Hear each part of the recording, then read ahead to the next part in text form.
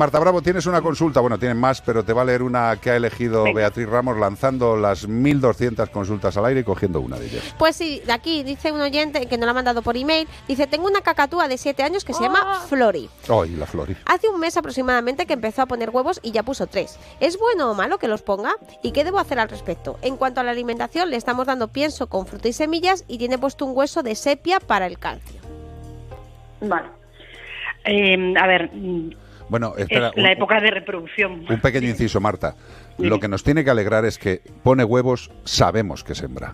Exacto, eso sí, es lo más importante. Pero si se llama Flori, probablemente esta persona cuando la cogió, eh, pues o bien se la dieron sexada o eh, mediante una analítica de ADN la sexó para saber si era macho o hembra. Pero bueno, como bien dices, el hecho de que ponga huevos nos confirma que es una hembra, lo cual está muy bien. Sí. Hay que tener en cuenta que nos acercamos a la primavera, que eh, la cantidad de horas cada vez so- es mayor, las horas de luz solar natural son mayor, la temperatura es apropiada y como la alimentación que le están dando es perfecta, por así decirlo, pues Flori tiene todo lo necesario para decir a su para que su organismo arranque ese periodo reproductivo y aunque no tenga un compañero, porque parece ser que no lo tiene porque no nos lo comenta. No nos lo han dicho, eh, es que no hay compañeros, exacto. seguramente. No hay compañero, pues ella puede poner esos huevos.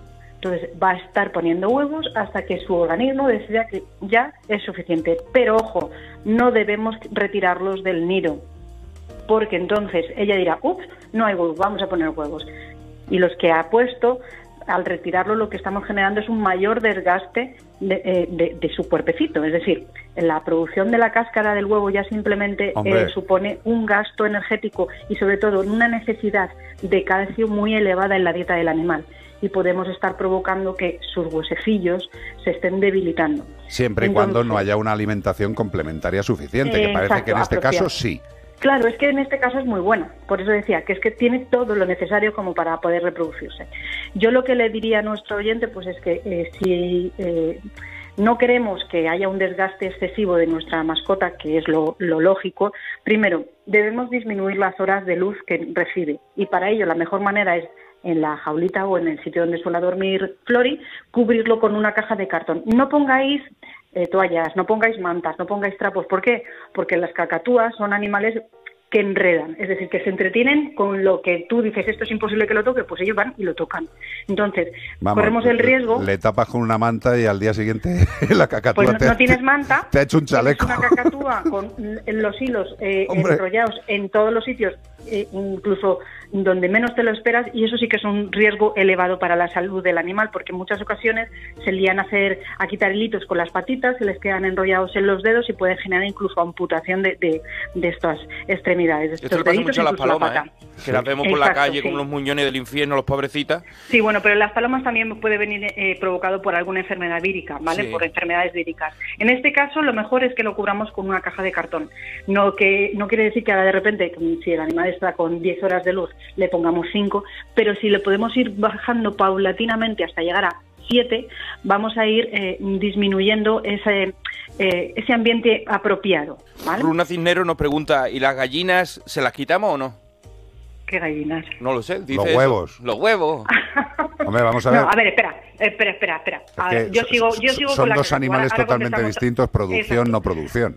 Exacto. Ahora ya seguimos con, con las con las gallinas si queréis. Ahora Lo llamará alguien que hay que diciendo, hacer. ¿y los gorriones? Pero Hombre, es que pero los que gorriones no son gallinas. animales que debamos tener en casa. Los gorriones son animal- animales silvestres que tienen su ciclo perfectamente marcado porque te- se tienen que buscar la vida para comer y el ambiente es el, mm, pues la estación en Totalmente. sí. No están modificados sus eh, condiciones naturales por Bueno, volvamos- calefacción ni nada por el Oye, estilo. volvamos a la, espera, espera, volvamos a la cacatúa. Exacto, ¿Qué pasa con la con caca- nuestra amiga Flori. cacatúa?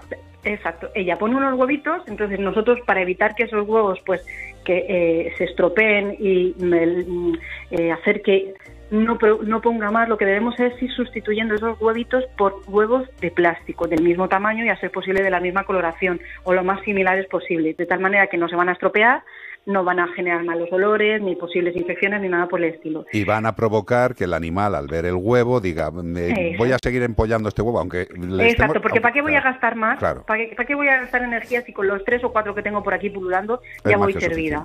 Vale. Exacto, ya Y- voy a tener a gente dándome guerra. Un pequeño apunte de las gallinas que nos vamos. A ver, un pequeño punto de las gallinas, como bien decía, son animales que no tienen, eh, eh, no son, son animales de producción y por lo tanto están, eh, tanto su dieta como su mantenimiento está pensado, estudiado y se realiza para ese fin, exclusivamente para ese fin. Y si alguien decir, tiene gallinas, como yo tengo en casa una gallina y un Exacto. gallo, pues eh, si comen perfectamente y quieren poner huevos, lo van a poner, Y evidentemente. no hay ningún problema por Claro. eso, porque su ambiente está pensado para ello. Es decir, las, eh, las gallinas camperas, que se está hablando ahora tanto, las que se crían en la naturaleza, Sí. igual que los gorriones van a poner huevos cuando les considere su organismo que es suficiente o que está bien como para poder ponerlos, si no, no los pondrán. Totalmente. Marta Bravo, thank you very much. A vosotros, Un besito. besos a todos.